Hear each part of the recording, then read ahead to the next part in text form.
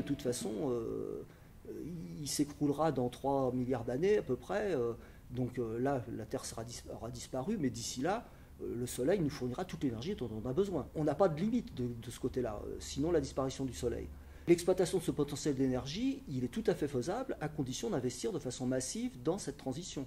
Or, l'investissement de façon massive est bloqué pour deux raisons très simples. C'est un, la rentabilité à court terme est tout à fait insuffisante. Donc, le solaire, pour le, dire de façon brutale, le, photovoltaïque, ça ne rapporte pas. Donc ça ne peut être que subventionné si on veut que ce soit un peu euh, diffusé. Et justement, ça ne peut pas être subventionné aujourd'hui parce que euh, les finances publiques sont dans un état tel, à cause du sauvetage qui a été impliqué par la crise financière, qui a, qui qui a nécessité de sauver les banques et de les renflouer à grands coups de milliards euh, d'euros ou de dollars, eh bien, ça rend difficile le subventionnement, évidemment, de ces énergies alternatives. La fusion, qui serait une énergie tout à fait raisonnable, euh, parce qu'elle n'a pas des, désagréments comme l'énergie de fission, euh, pas de rejet de déchets, euh, potentiellement infini. bon, aujourd'hui est dans un état embryonnaire parce que en fait, on n'a tout simplement pas les capacités technologiques pour confiner le plasma de façon productive à des grandes échelles. Ça demande énormément d'énergie, ça coûte énormément d'argent et ça suppose des coopérations internationales euh, qui, sont en cours dans un projet communautaire, mais qui ne peuvent pas déboucher de façon industrielle. Euh, les, plus optimistes parlent de 2050, c'est-à-dire, euh, bon, il y a quand même encore 40 ans à tenir, et, donc c'est clair que ce n'est pas une substitution immédiate pour les problèmes actuels. Donc ce, type d'énergie serait tout à fait intéressante, mais ne sont pas aujourd'hui des, substituts raisonnables pour les problèmes qui sont les nôtres. Donc il faut engager des transitions qui sont des transitions euh, plus, court terme. Or, ces transitions aujourd'hui, elles imposent des coûts immédiats. Les, coûts sont pour tout de suite. Il, va falloir payer très cher, forcément. L'énergie va augmenter, ne peut qu'augmenter, euh, parce que les, matières premières se raréfient, parce qu'il y a des problèmes géopolitiques, euh, parce qu'il y a des problèmes technologiques. on améliore l'exploitation des champs pétrolifères, par exemple mais cette amélioration coûte. on améliore l'exploration, mais il faut aller dans des gisements plus profonds il faut aller dans des océans, au fond des océans, il faut, exploiter des schistes bitumineux ou, euh, des, sables bitumineux dont le pétrole à extraire est très coûteux. Euh, il faut utiliser beaucoup plus d'énergie, donc tout ça coûte. Euh, c'est des coûts immédiats et le, bénéfice attendu de ces, de ces coûts immédiats est à des horizons de l'ordre de 50, voire plus. Du coup, les hommes politiques qui sont capables de prendre les décisions d'investissement majeurs sur des infrastructures énormes, eh bien, euh, sont un peu réticents à engager euh, des coûts qui seront supportés tout de suite par des populations qui sont par définition des électeurs dans les cinq ans qui viennent, euh, alors que les bénéfices n'apparaîtront que quand ils seront morts. Copenhague est particulièrement emblématique de cette situation parce que c'est la première négociation internationale sur le climat où il y a eu tous les chefs d'État, donc ça a été vendu en grande partie comme ça pour montrer l'importance du sommet. et, cette réunion de l'ensemble des chefs d'État décideurs au niveau mondial a abouti à un engagement de l'ordre sur la nécessité de ne pas dépasser 2 degrés. Donc aujourd'hui, tous les climatologues disent que c'est déjà foutu, donc on va dépasser les 2 degrés. Mais en 2050, puisque c'est la limite à laquelle il ne s'agit pas de ne pas dépasser les 2 degrés, tous les chefs d'État présents sur la planète seront morts. Euh, donc c'est un engagement qui n'est pas coûteux pour eux. Euh, et quand on voit par contre les engagements qu'ils prennent à l'horizon 2020, euh, où ils risquent pour certains d'entre eux d'être encore au pouvoir, eh on voit bien que ces engagements ne mènent précisément pas à cette fameuse euh, limite des 2 degrés qu'ils ont euh, clamé haut et fort. Alors il faut évidemment une transition écologique. Il faut, une transition écologique, ça veut dire quoi? Ça veut dire qu'il faut changer de mode de production, il faut passer des, épuisables aux renouvelables. Ça ne va pas se faire en, en, très peu de temps, ça va se faire forcément un temps assez long, en dizaines d'années. Il faut des gros investissements qui sont forcément publics et aujourd'hui, on est face à des crises de finances publiques.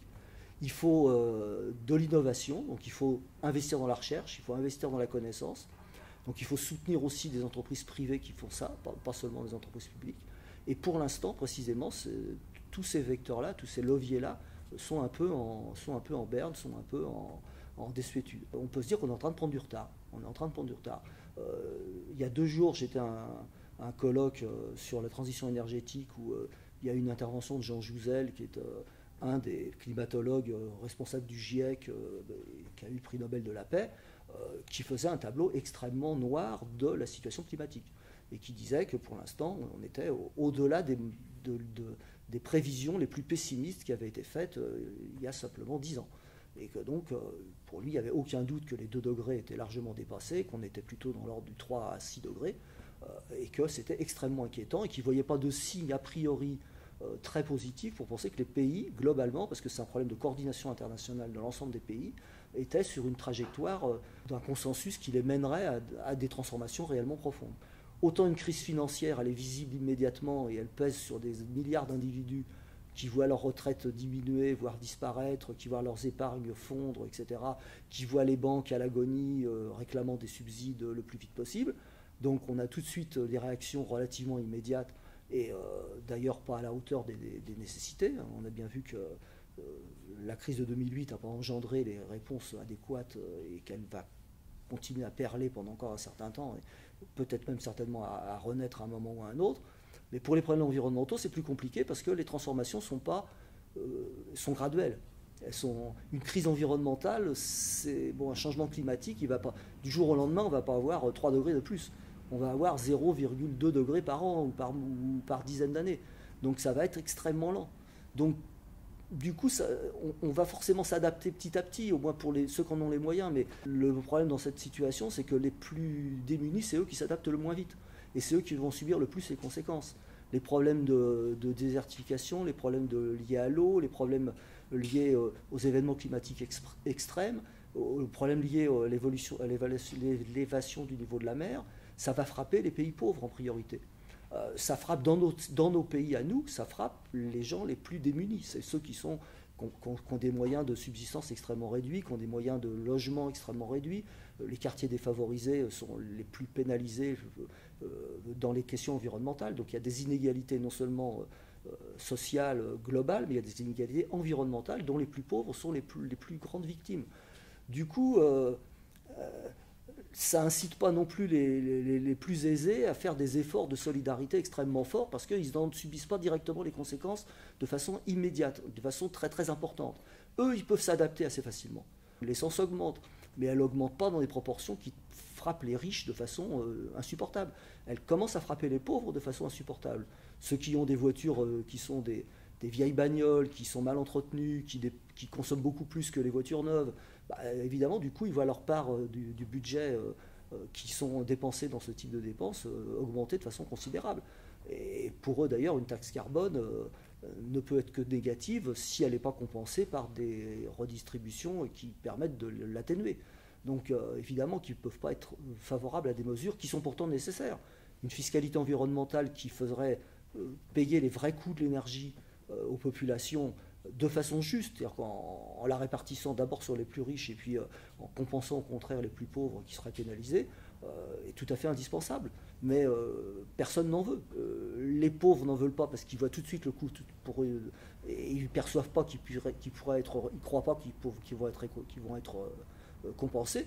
Et les plus riches, de toute façon, n'en veulent pas parce que de toute façon, ça pèserait sur leur pouvoir d'achat immédiat.